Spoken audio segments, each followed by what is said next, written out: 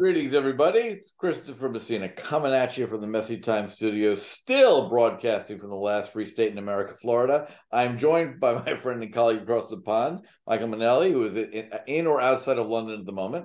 Michael, thanks so much for taking the time to come back on. Great to see you again, Christopher. Always fun. Always a joy. We were just talking in what we in the, in the business call the green room about some of these topics around uh, Bitcoin, digital currency, uh, distributed ledger versus blockchain. Uh, and I'll just I'll, I'll just kick us off a little bit to give our audience a sense of what we were talking about. Is is I don't think this is at least in this audience a contentious proposition that the prevalence of scammers who hyped BTC, who called it Bitcoin, combined with a lot of other scammers who are sprinkling magic blockchain dust on anything to make it sound sexier than it is, uh, has led to two main problems. One is vast confusion in the investing public about what any cryptocurrency actually is, what Bitcoin is, what blockchain is, and I, and I think a good point to, kind of kick this around would be uh, since a lot of people have heard about these ideas for central bank digital currencies, right? So the Chinese would run one, or maybe the U.S. would run one. Um, and you had some very trenchant thoughts about why what is being hyped as a central bank digital currency actually has nothing at all to do with the blockchain. Am I catching that correctly? Definitely, definitely.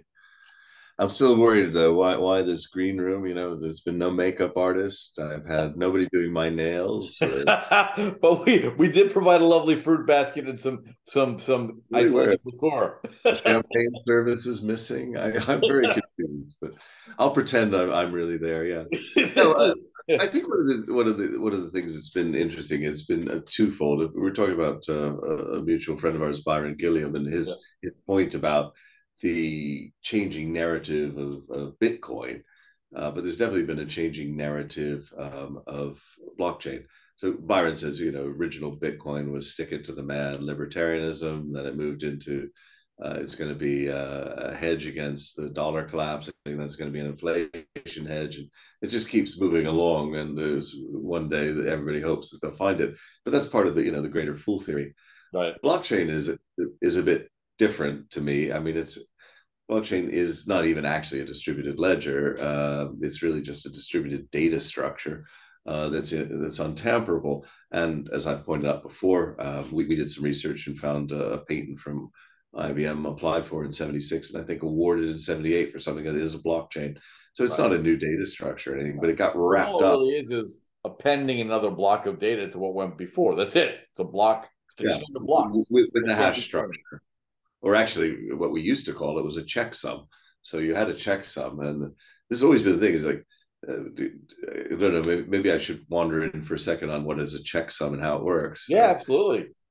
Well, the checksum is actually that a sum of a check. Uh, so it was originally used as a as a device to uh, to to allow people to check that a particular number itself was accurate.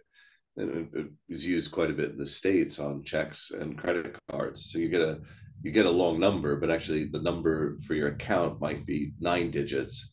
And then there's a 10th digit, which is all of those digits summed, and then yep. take the last digits. So I go, you know, add up, you know, eight, four, five, seven, five, zero, one, and I get to a, a number like 87, and I and I use the seven.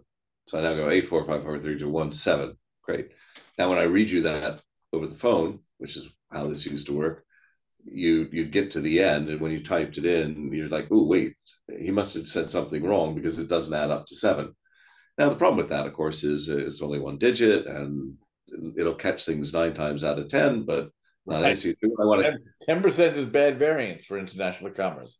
Right. But no, I I want ninety nine percent accuracy. So you you put two digits. No, I want more than that. You basically you lengthen it and lengthen it and lengthen it. And when it gets long enough, then the odds of a collision of, of false identity are so low uh, that it becomes effectively a unique ID, uh, and that's the hash. That's the hash. Uh, in fact, in the in seventy, I remember in seventy eight having a discussion at Harvard about the Internet of Record as opposed to the Internet of Communication. So we had the Internet of Comms, you know, TCP/IP whizzing around, and I remember somebody at the lab musing about uh, what would happen. We were sitting around and it took us about five minutes. And we said, well, what we'd do is we'd have a very long checksum and we'd record it.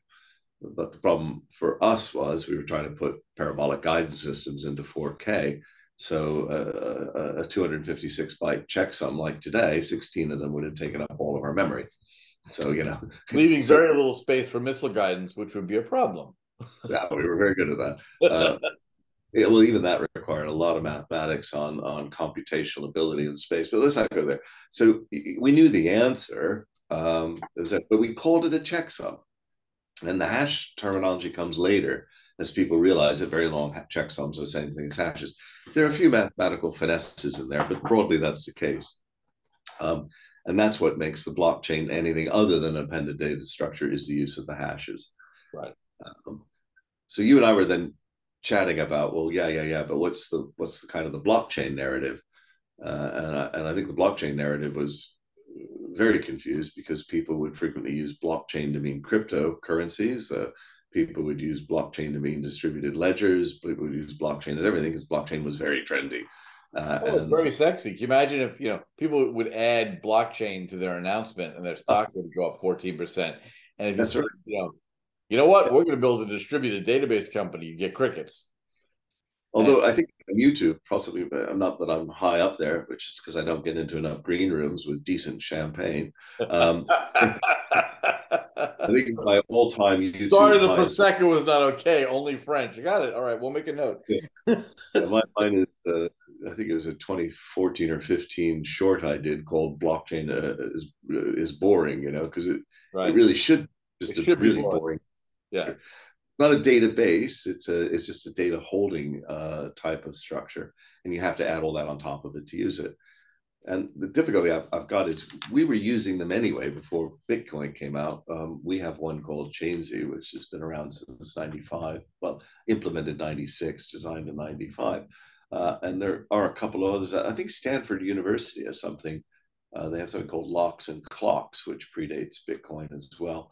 And it was used to hold um, archives of academic work so that they couldn't be tampered with. So you, sure. these were my test results. And right. you know, that's so important, clock- right? You can't go modify data to say, look, this drug is fabulous. Yeah. Right? And in fact, we use ChainZy for that on uh, clinical trials and health health data. And LOCKSS, I thought was funny. It was, uh, it was, it was lots of copies keeps stuff safe or something.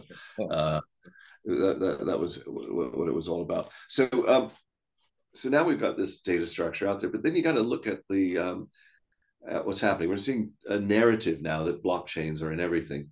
Now, I don't doubt that a lot of people might well find adding a timestamp, which is all this is, a timestamp and a hash of something that's ticking away. That's what ChainZy does and has been doing for, uh, God, I'm getting old, 20, 27 years or whatever.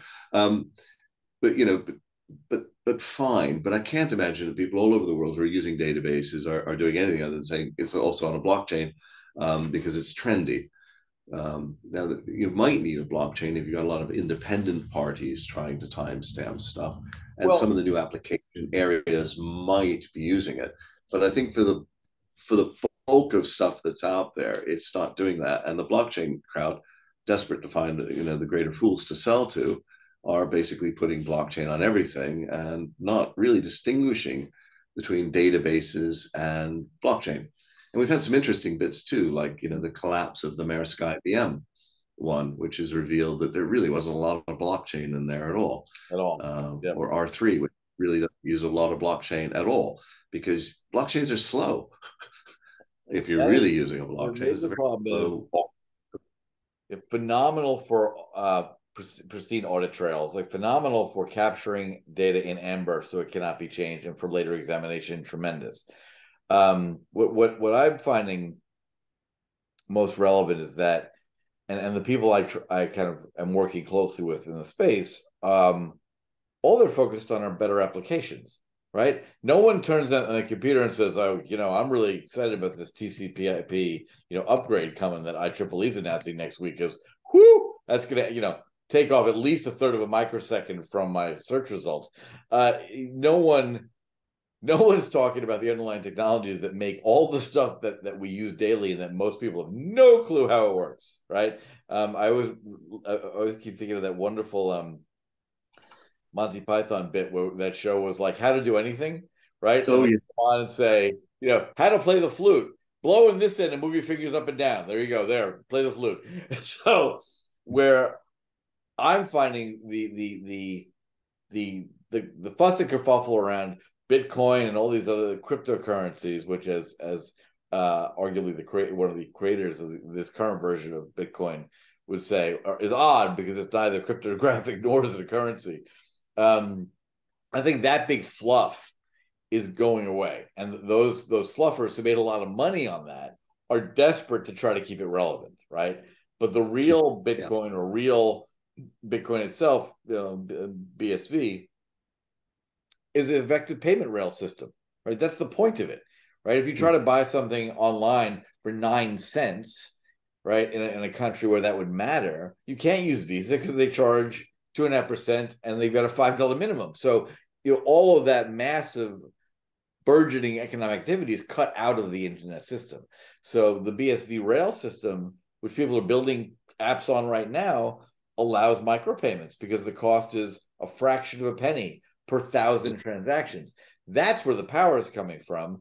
But the people who are using that, and we're looking at a couple of applications for kind of offshore remittances, right? Someone's working, someone in, from Malaysia is working as a housekeeper in Saudi.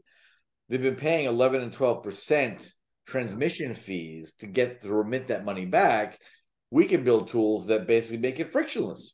Give the poor a helping hand in terms of so, but again, the application is what matters. And the remittance worker values the fact they're not getting ripped off anymore. They don't care how it's done. It can be done with pixie dust and unicorn farts for all they care, and for all they know, it is. And so, um, I'm drawn to the the adult applications. You know, yeah, I'm giving a talk, as you well know, in London in a couple of weeks about using an NFT structure for critical minerals trading in place of futures markets, that kind of thing. And there's a really great kind of industrial professional investor use case, right? But it's not going to be for everybody, but it still makes sense for that that kind of big scale application of professional investors and, and big scale commodity traders. Um, but smaller versions of that will make sense, right? And I'm curious to see how those come about. But I think my, the thing that I've been coming around to is everyone talks about central bank digital currencies and the libertarians who are paranoid the government can can freeze your money as if they can't now, right? Like I love this. You know, if there's a central, if there's a digital dollar, they'll seize it. They trust me. You piss off the government, they will seize your bank account. They don't need it to be a digital. You've already got a digital dollar. So, I mean, are any of the arguments that you're that you're hearing in the space? Can you parse between those that are rational versus those that are kind of paranoid? is is that if that's the right bifurcation? Yeah, the usual thing.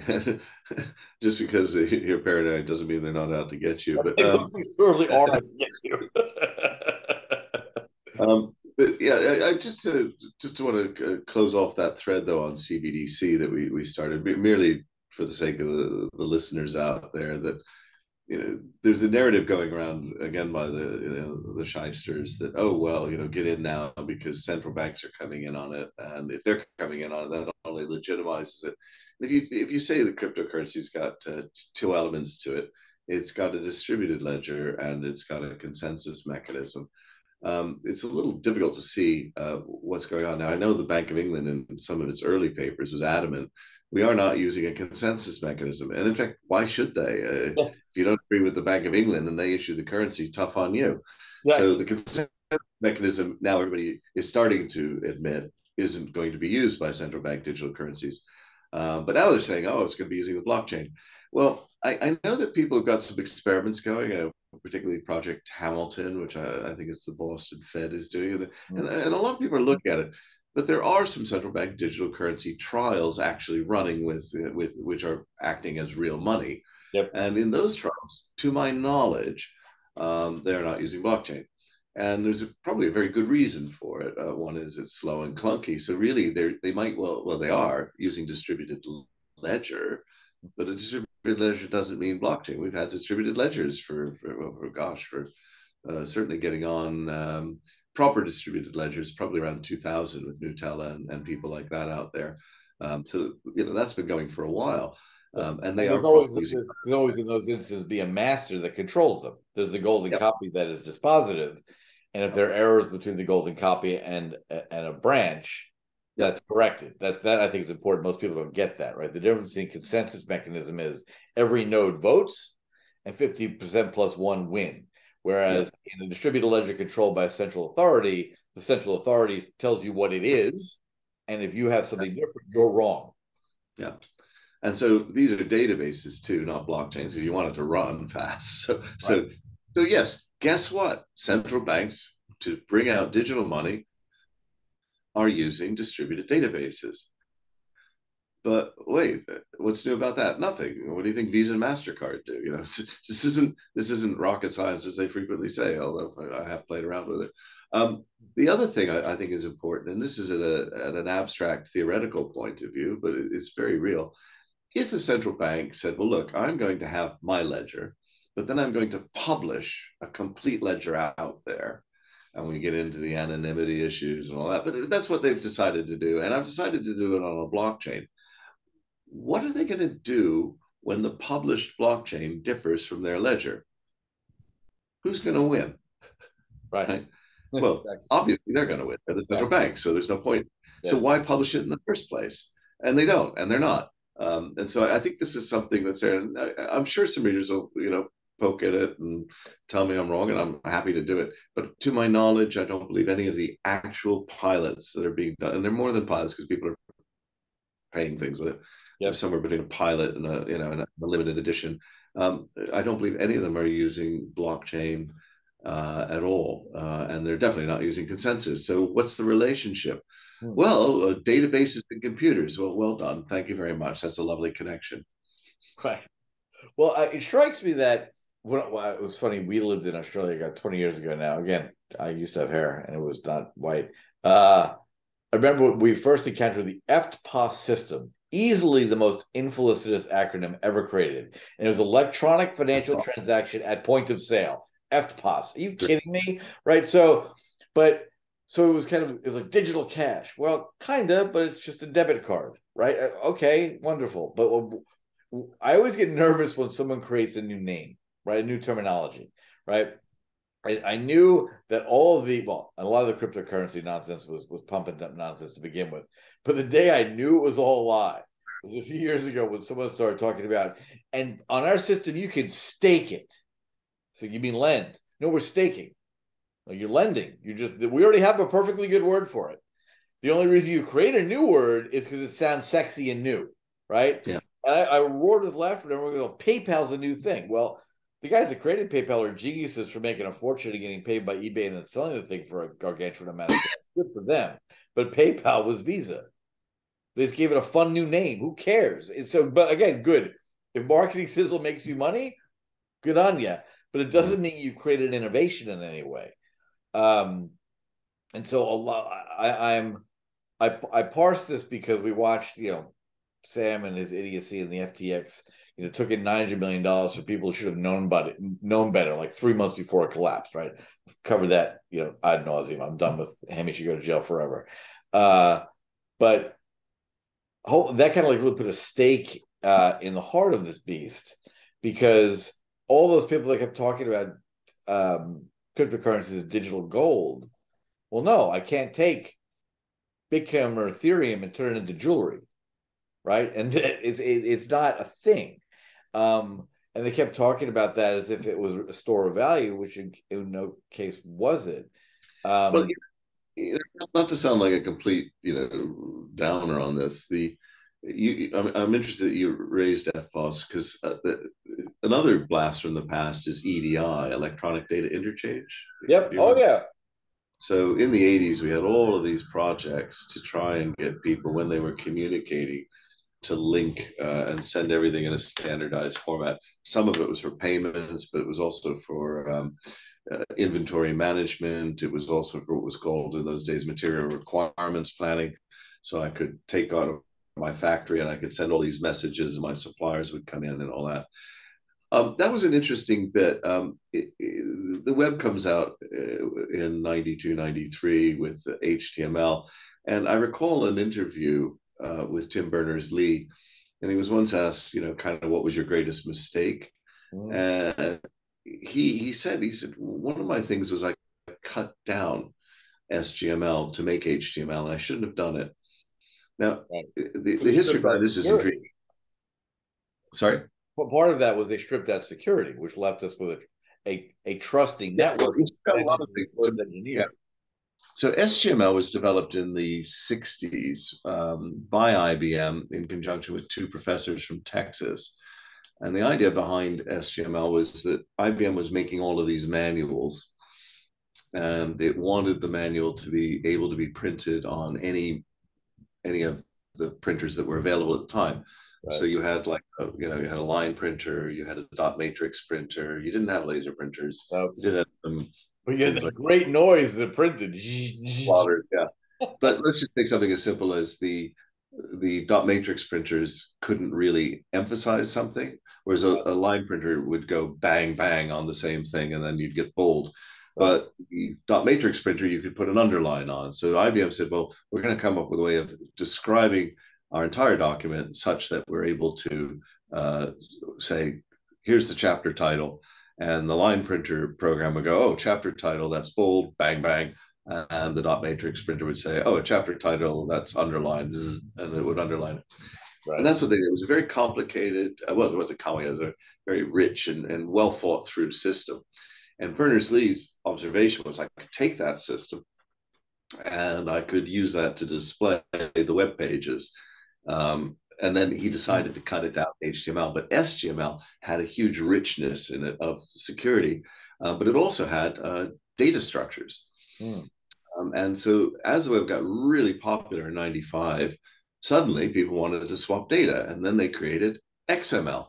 And XML was really just taking HTML and adding to it to bring it up to SGML. HTML. Uh, they just put it back in. And then and then we had JSON coming out, which is also related to JSON. So we we've got this evolution of these documents. And the funny bit is, if you've ever tried to do this with real clients, the easiest way to do it is to have, call them forms.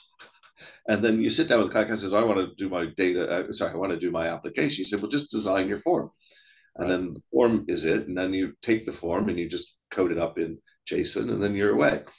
And this is where it gets intriguing as well, because most of the EDI projects, such as shipping documentation or materials requirements planning, became XML projects and have now got JSON. So you've got these libraries of standards in areas like invoices, uh, XBRL, um, which is a you know business reporting language. Um, you've got was FPML, financial, no FRML, financial FRML, reporting yeah. language. The XBRL has been used really well got, in reporting. And all these are huge bodies of. Do you need uh, a shipping? Uh, what, do you call it? Bill of lading. Bill of lading. Do you, yeah.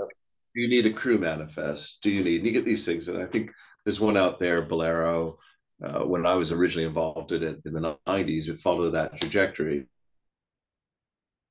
Yep. They, they they went through having been an EDI outfit to being an XML outfit. Now they now they do XML and JSON. They started off with about 75 documents, and I think they've now got 450 or something. Um, and there's another one out there called SDocs, ESS DOCS. It's an Israeli outfit. So you got these sort of big libraries of what do you need? You need okay, you need a blank form. You know, you need another blank form. Now, what's interesting to me is these are ideal for blockchain because mm. I can take the form today, fill it in electronically, and basically send it off and it's stamped. Uh, and that's what we do a lot of uh, here in London for clients. Now, it hasn't taken off uh, internationally because it all, always suffers from this multi-party problem. You know, you, you know, who's the central third party who controls it? Um, that's, and that what's interesting is that's the exact exact structure we came up for for our critical minerals NFT structure. Oh. Is that is that okay. all of the all the legal documentation is embedded in the code um, and is is fillable, form fillable by the buyer, both counterparts, and uh, we as the mining company that are issuing this because it's a basically a commercial sales contract of minerals we produce or will produce. Um, we are the uh, final authority, and mm-hmm. that is what actually made is making the first users and investors uh, and buyers comfortable, right? Because you're a CFO at an aerospace company, you're buying, you know, ten thousand kilograms of samarium oxide from me, right? Whatever it is. and you got this NFT structure, um, which we just use because it's convenient and it's you know. did we did we try to take avail uh, take advantage of the sizzle and NFTs? You know, eighteen months ago when we began this, yes. Does it sound so sexy now? No, but uh, fundamentally, the structure still is very useful in terms of data containment, and then uh, because speed doesn't matter, kind of the blockchain approach is worthwhile. We know exactly where it's going, who's selling, who's buying. Um, yeah. And the part where, similar to what central bank digital currencies are doing, is uh, I, as the controlling uh, uh, entity, I can say no. I can veto a transaction, right? And part of that's because of know your customer rules. Right? You're not allowed to buy this NFT that gives you the right to you know, 12 rare earths and tantalum and niobium and then sell it to the government in Pyongyang. Like I'm going to say no to that transaction. I'm not going to say no unreasonably just because I don't like Bobby at, at uh, you know the, the trading house, but I am going to say no for KYC AML reasons. So I, I I I do think, in some senses, the adults are stepping into the room to make use of this technology, whether it was old and now it sounds new. I, some way I don't care, um, but there are real uses to it.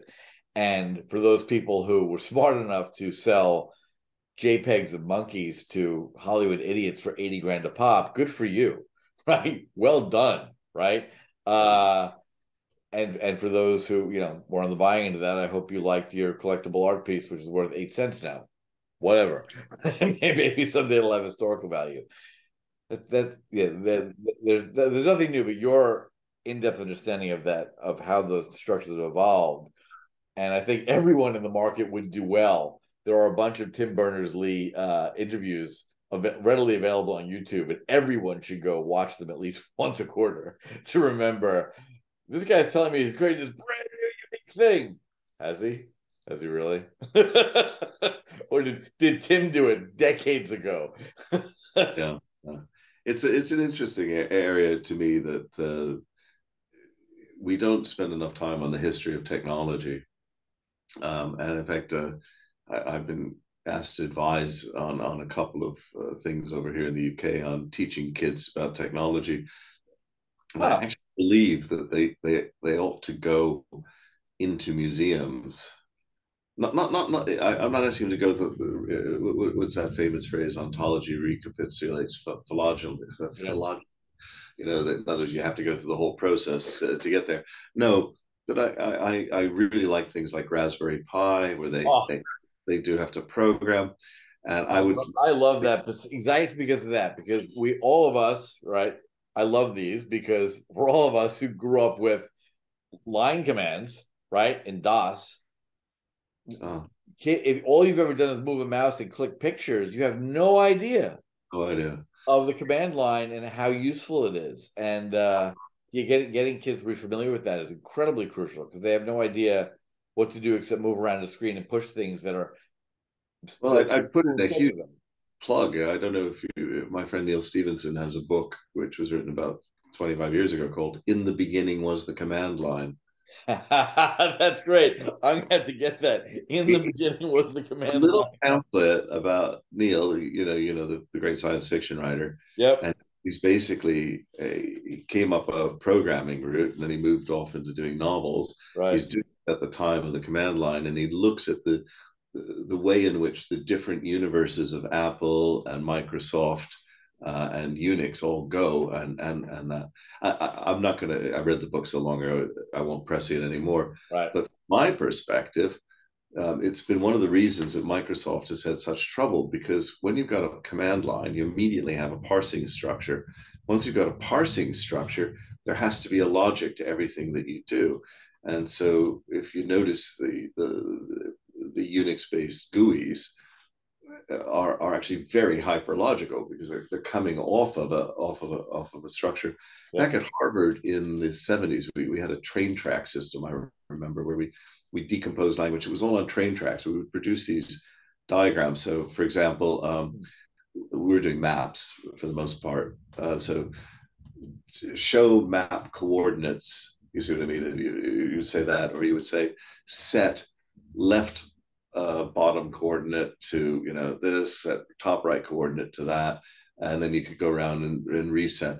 We we use these train diagrams. Today, you would use um, in fact, I was around at the time we started to move into Backus Naur form, um, which is often called Backus normal form, but it was uh, Backus and Naur, N-A-U-R, are structural, and they give you a structure, whereas Microsoft was kind of laying things on just because they looked good.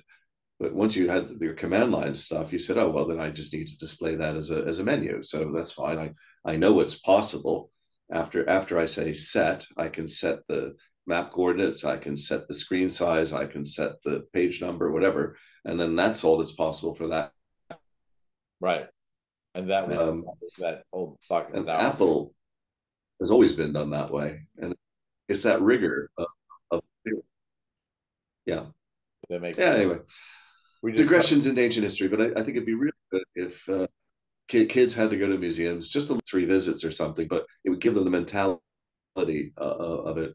There's a really cool bit in in in the Netherlands. I went into I don't know if I told you about this. I went to Delft um, last uh, August, and uh, they have a, a, museum, but it's not a museum. It's a it's a little a little area which my my daughter was uh, panicky about because she gets down there um, to show dad, and she goes uh, uh, with a sort of unladylike, "Oh my," uh, and she goes, "I thought it said."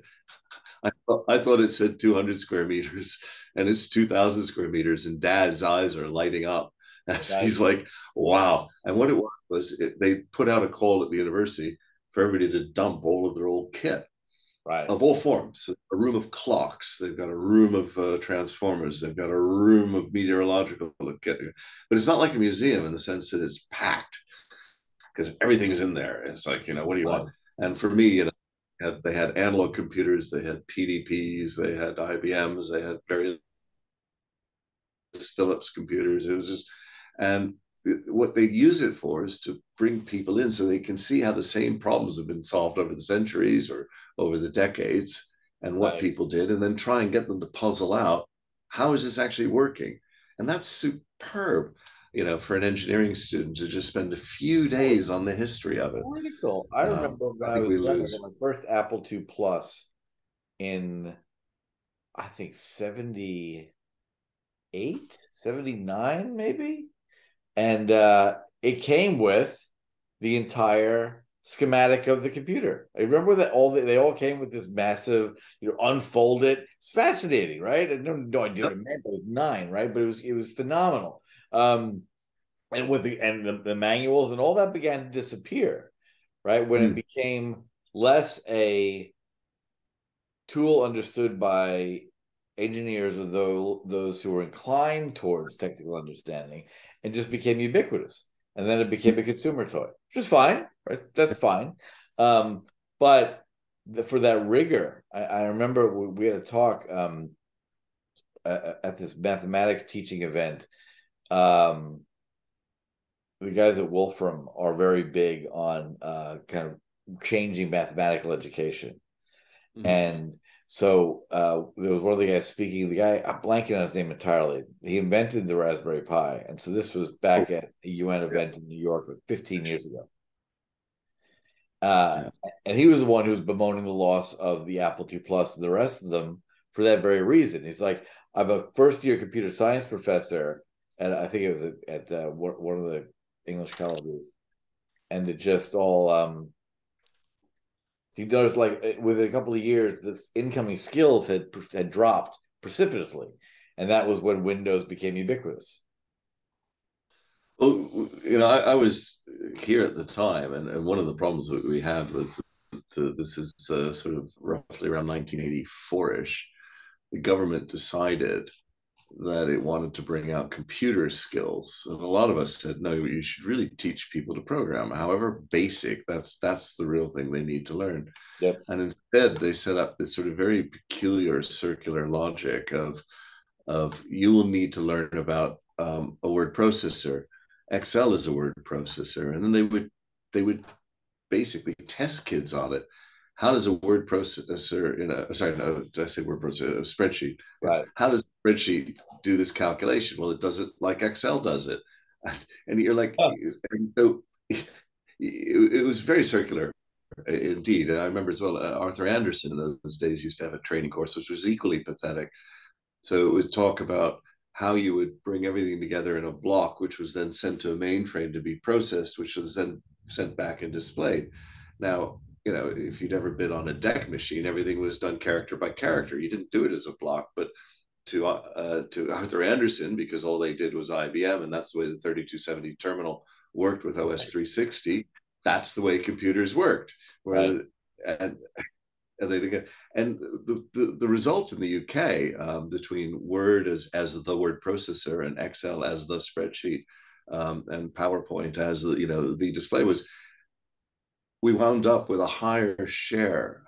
Uh, sorry, Microsoft went up with a higher share market share in the UK than it actually had in America. And I'm sure they so didn't intend it that way. yeah. Which uh, you know, the, the government really didn't think it through. And and then you had people thinking that they understood computers. No, they understood how Excel works. They understood how Word. It was it was very, retrograde, and that's why I like the Raspberry Pi bit. You know, you got to learn how to program to yeah. some degree, and you need some to do that. To know how things think. Now we teach kids basic projects like using a, a Pi with a, your phone interface to turn the lights on and off, whatever. But when when they when they get it and they realize, you know, these seven lines of code made made you know enabled me to open the garage door at a distance, so they love it. Like it's that's awesome, right? That's really cool. But uh, well, my, my, my diatribe. Good. My diatribe on this is look, you know, over the last half century, a little bit more actually, half of all inventions have been sticking a computer onto something. Right. You know, sticking it onto my carburetor, sticking it onto a, you know, a saline drip, you know, sticking it onto a temperature device. That's all it's been. And if you want to talk about innovation and management and, and blah, blah if, if you're a manager, you should be managing innovation. Well, you're lucky because you could study a whole bunch of other disciplines, physics, biology, and blah blah blah, and get, become an expert in all of them.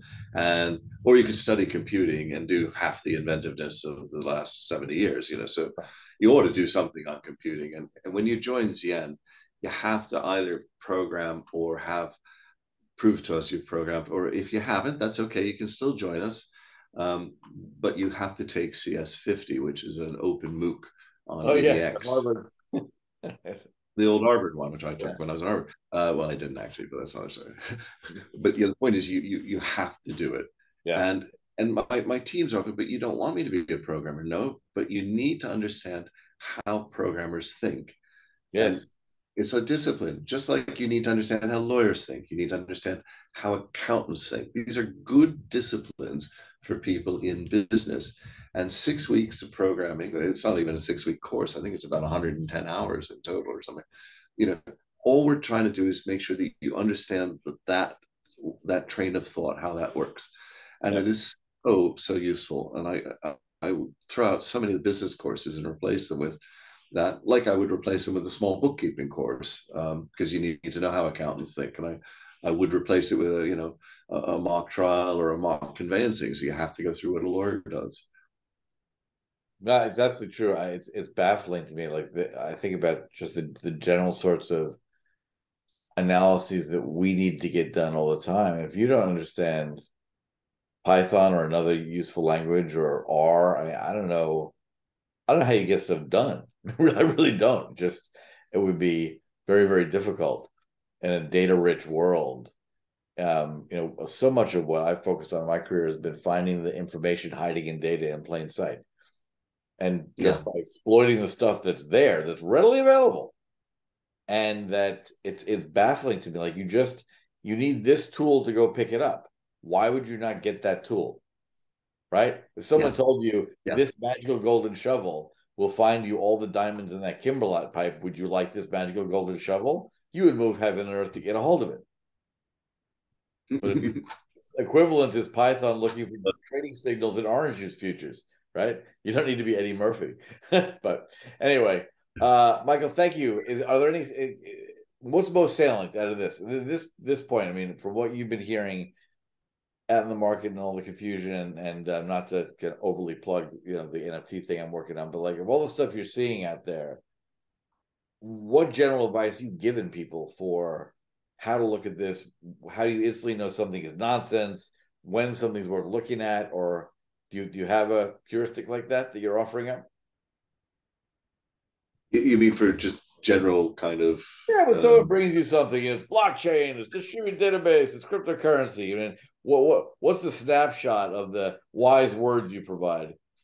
Well, I, I think the biggest thing to me is that you should always be asking people how things work, and you shouldn't take no for an answer. Honestly, you shouldn't. And when they get to bit, it's too complicated or science, on it, then you're being lazy. Or they're, so, you know, or they're lying, or both. or both. Yeah. You shouldn't say, um, for example, you know, uh, what's the old expression? You should never uh, invest in anything you don't understand, right? right? And it's true. That on the other hand doesn't mean you can't work and understand something.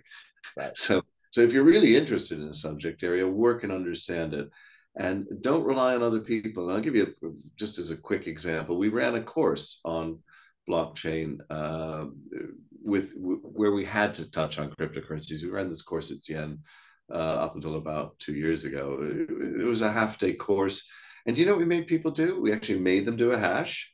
Right. There you uh, go. We had to do a hash right. on paper, you know, that's and we had a little um, because they're all excited. We had a card game where we worked out how you did a um, how you reach consensus on a block. So we did sort of a, a nonce a noncing structure, and people had to shuffle the cards, and then they dealt the cards out. And they, oh, I get it, I get it. Right. Um, but we actually walked them through all the components of it.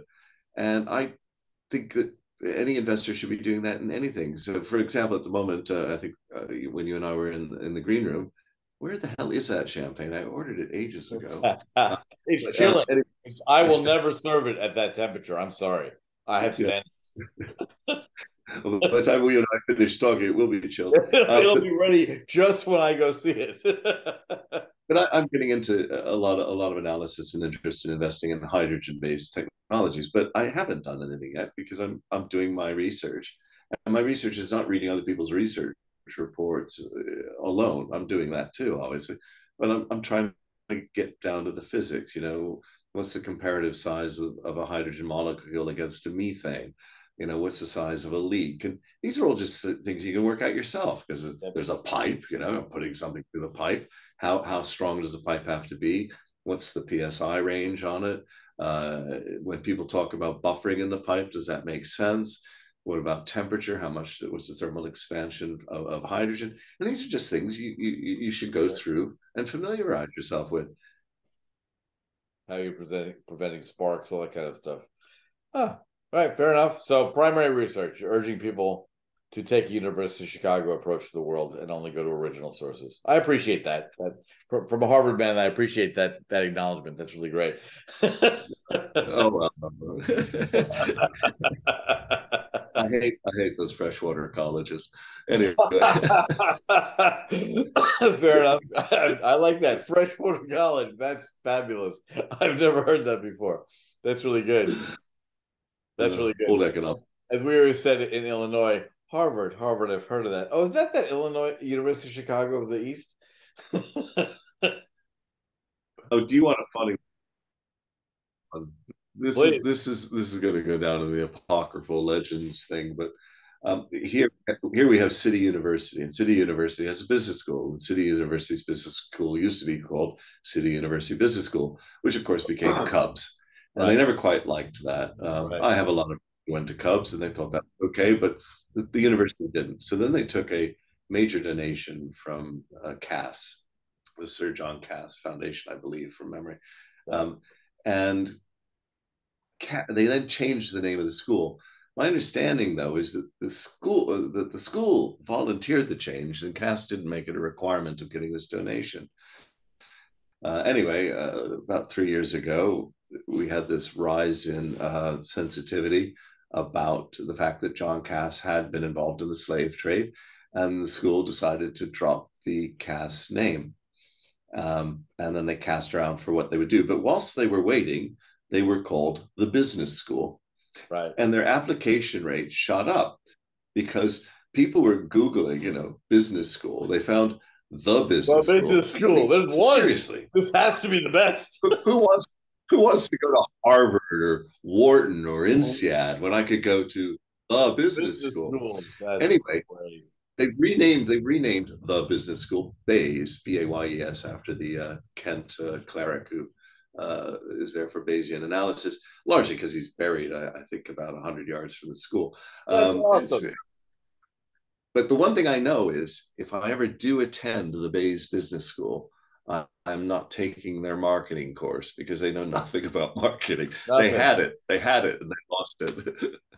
and in an odd refutation of the good Reverend Bayes, your position on that a priori going into the school would not change a posteriori after being there. so Ooh, there's a little irony in that. and I will leave that real nerd joke for my listeners.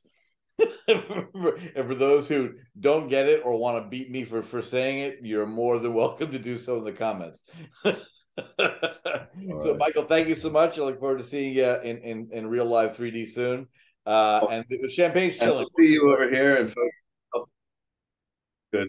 And a plug, Christopher's on on the 15th of February on our program over at FS Club. Looking forward to it. And I'm very excited about that. So thank you all. And I'll put the link below. And until next time, to my dear listeners, remember, on the whole, turn off the mainstream media because they're just lying to you and tune into messy times.